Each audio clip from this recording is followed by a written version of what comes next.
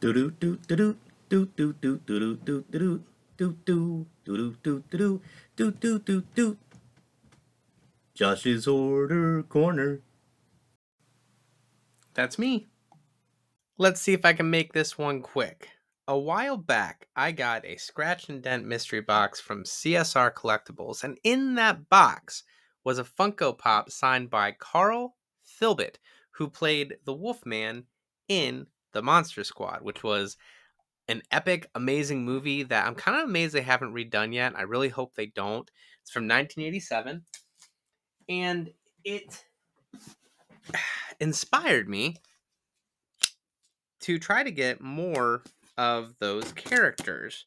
I was hoping for send in opportunities, but I don't know. For some reason, I was starting to get a little nervous about getting some of them.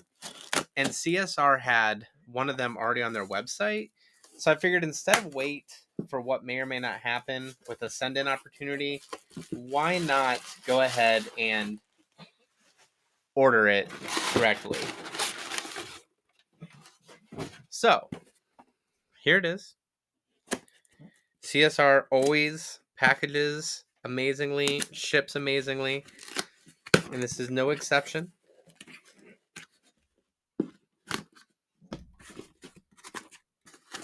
Gosh, I think I've done this before.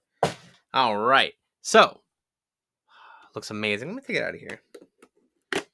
It's funny because I almost bought this a while back and I, I decided not to. And I remember talking to uh, Horrorman Joe around that time, and he he purchased one. So we are now both trying to build out the Monster Squad collection. So look at that. Get them up here for you. There it is. So who we have right here is Duncan. I'm gonna butcher his last name. Regehr. Regehr? We'll say Regehr. Um, he is a Canadian writer, artist, film and television television actor. He was also a figure skater, so that's pretty impressive. And if you don't know him from Monster Squad, depending on your age here, if you're under the age of say probably 35, go to your parents and say, "Hey mom, hey dad, do you remember the show Zorro? Tell me about the actor who played Zorro. It was him. This was the original TV actor for Zorro."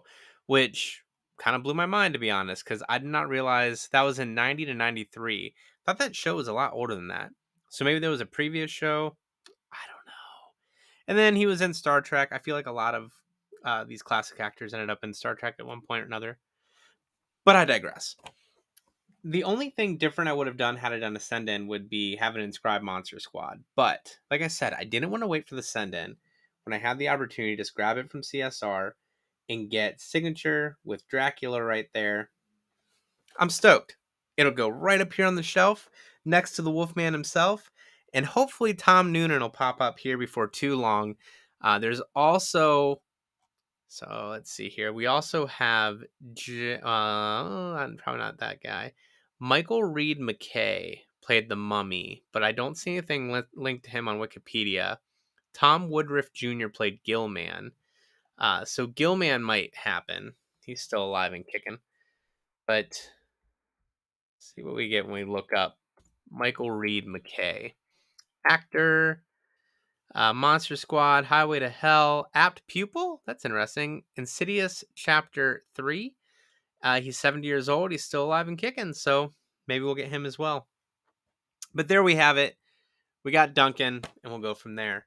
Until next time, check out the links in the description below. There's going to be one for CSR Collectibles where I snagged this guy right here.